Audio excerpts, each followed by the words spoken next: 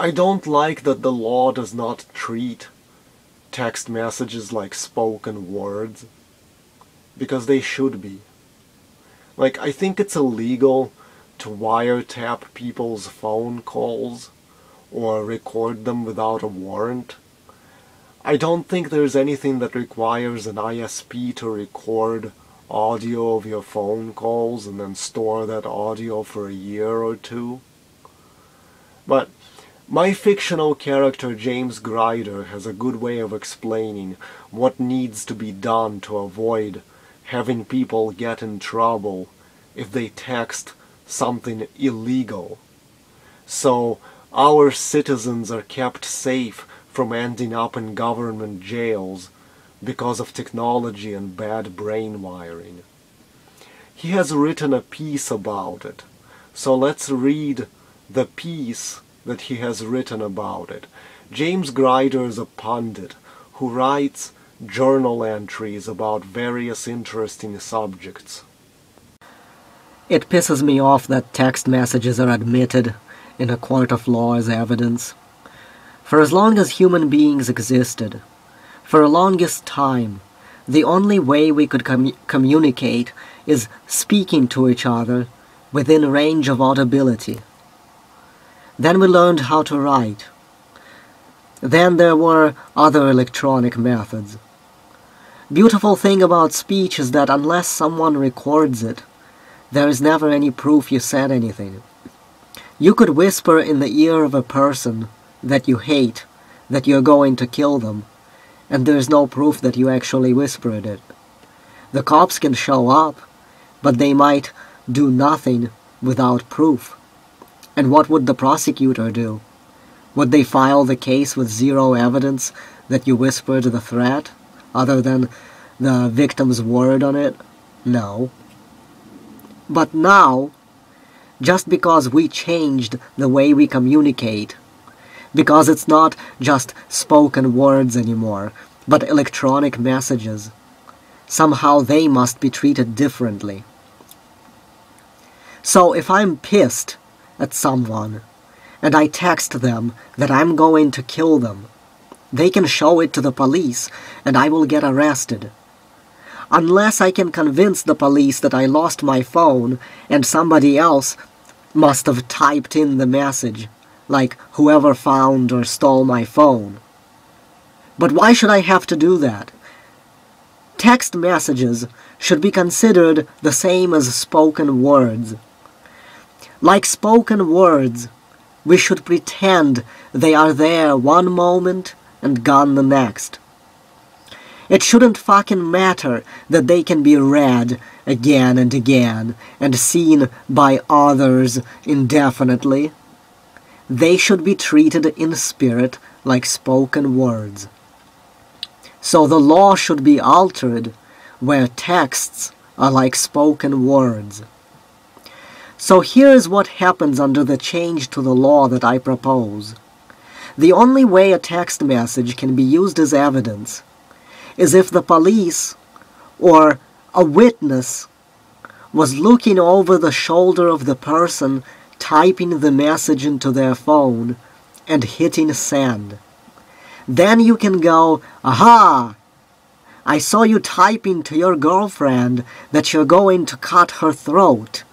Now I will get sworn in as a witness and testify against you.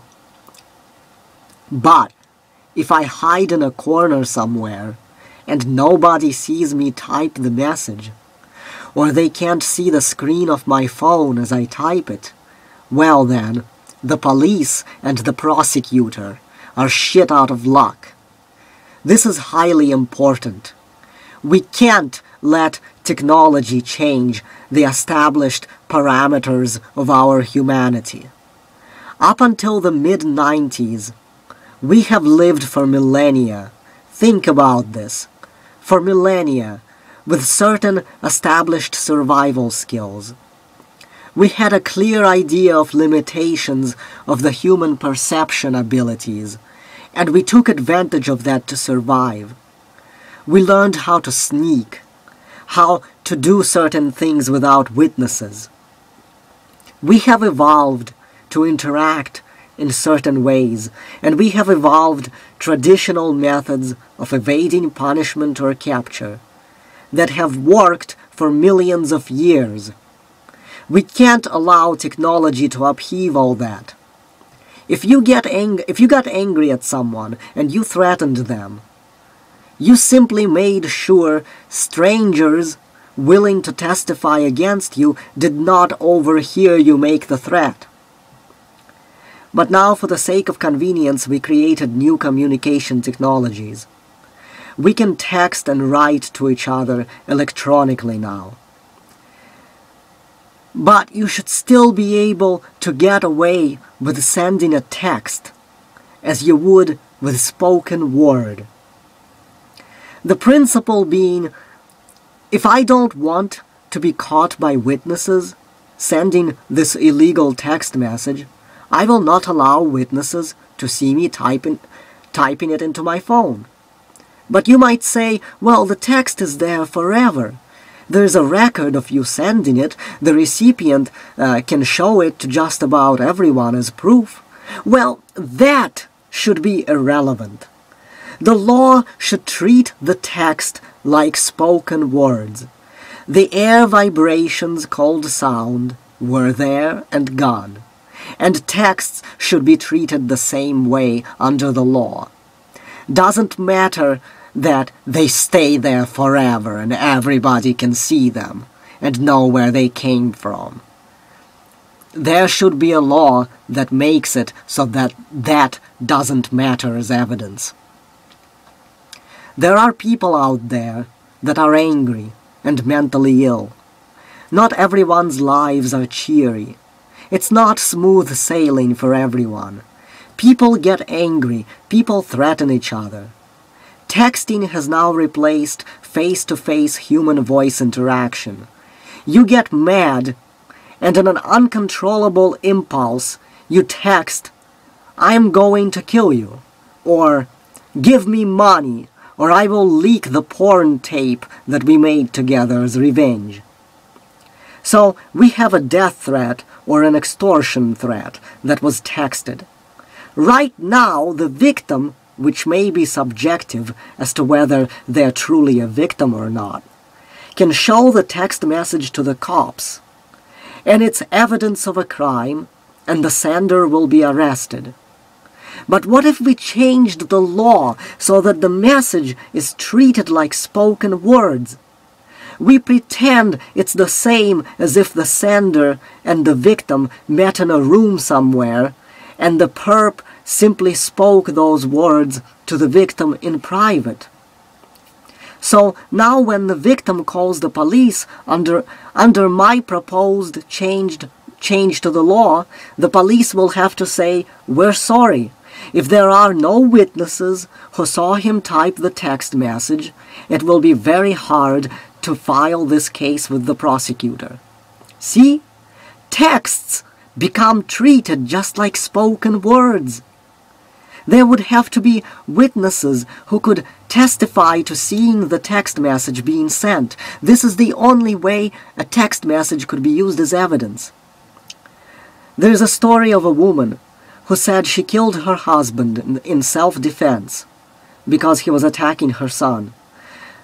But the jury indicted her anyway because she had sent threatening texts to her husband months earlier.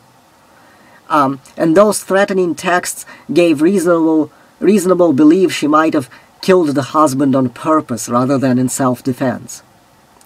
But if she had spoken the threats to him in the privacy of their bedroom face to face, that would have never come up as evidence. Well, text messages should be treated the same way. It doesn't matter that unlike spoken words, they stay around in the ISP records forever for all to see. That should be disregarded. I don't care that it's delusional to do so. I don't care if they clearly point at guilt. Well, the guilty party just simply gets to go free. That's the way it is, because this is about something bigger than busting someone for a threat against someone's life. This is about our ability in the face of technology to still be able to use this technology for our convenience, but also be able to evade the law in the digital age just as effectively as if we as we have done across thousands of years in the analog age. That's more important than anything else. That's what will preserve our humanity in the face of ever escalating technological advancements. That's what will keep us free and keep a level playing field so the government does not grow unbeatable because of some stupid gadgets. Texting with someone else a plan to kill grandma and make it look like an accident so you can get her large inheritance should be treated the same as if you met face to face in a dark corner alone somewhere and the conversation was made in whispers that are irretrievable forever.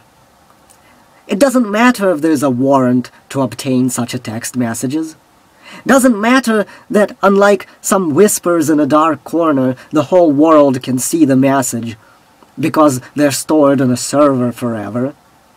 They cannot be used in a court of law or to, to arrest anyone unless a witness comes, up, comes forward saying, I saw them typing these messages on their phone live as it was happening and I will testify to that. This way, texts become treated by humanity the same as spoken words. Too bad for the pigs if they don't like it.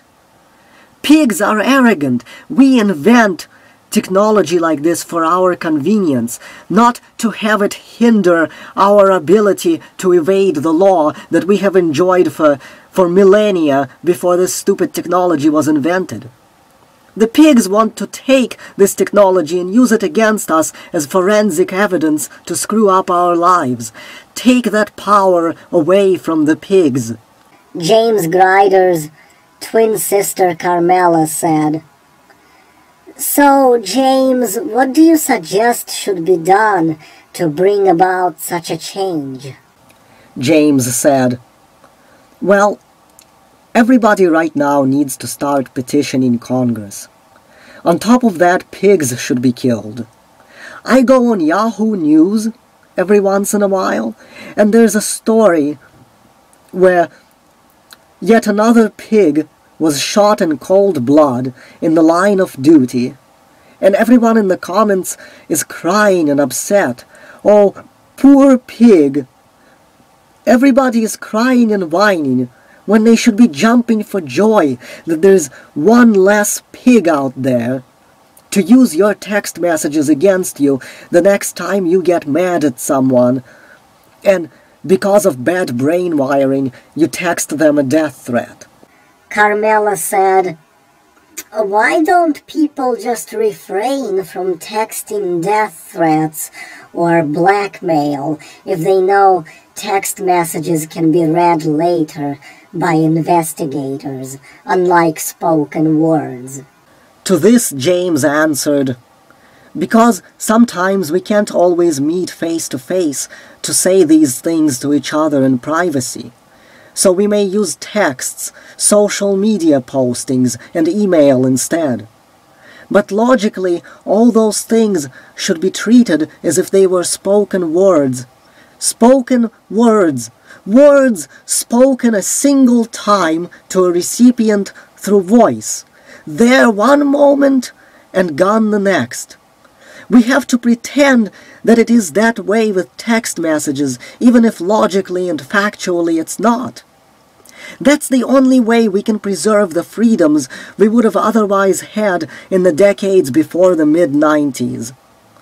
That is far more important than, you know, preventing a few murderers from going free. This is something that generations and generations would benefit from, while preventing murderers from going free will only affect uh, benefit a small handful of people. James Grider is right. I just dread that such an idea will never come to pass. I feel like humanity enjoys all this technology helping bust people for stuff they would have gotten away with otherwise. Technology should only provide convenience. There is no convenience if all it does is aid the government in making us walk in a tighter line. It just makes all these inventions seem dreadful and upsetting. A lot of times when I hear about smartphones and all this interconnectedness and how someone has a video proving this and proving that and text message records that condemn someone of this and that in a court of law, I just feel disgusted. There's no level playing field anymore. Imagine our lives suddenly being like a, a Call of Duty match, where the enemy team, this enemy team being the government, has a hack that gives them a permanent VSAT, and your team doesn't but for some reason all, the, all your teammates around you are cheering that on as a good thing. And that's how I feel.